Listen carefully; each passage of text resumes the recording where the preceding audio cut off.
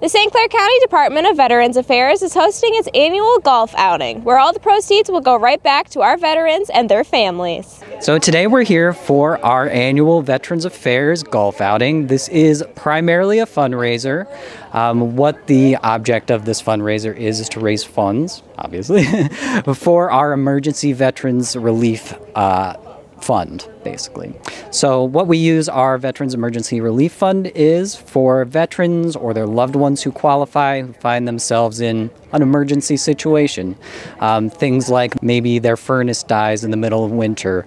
Uh, maybe they need a new roof. Maybe XYZ. Honestly, it could be anything at this point. But what it's really for is to help veterans in a time of kind of emergency crisis, just to get them a little bit of help so that they can continue on their own afterwards.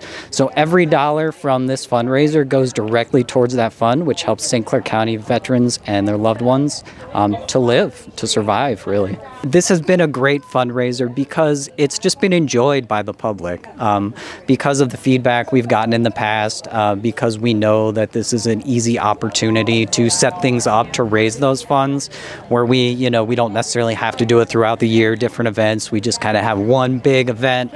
We get all of our community partners. We have people within the community donate items. It's just easier to ask for kind of help with one thing rather than throughout the year. So golf is the perfect fit for that. Veterans Affairs helped me out with my uh, service connection, and uh, I know that they help out quite a bit with veterans in need. Served in the Air Force from 2003 to 2009, did three tours overseas. I golf at least 100 holes a week, um, so it's just yeah, it's just fun for me. It's an outlet for a veteran. Support Veterans Affairs by visiting their website at sccvet.us.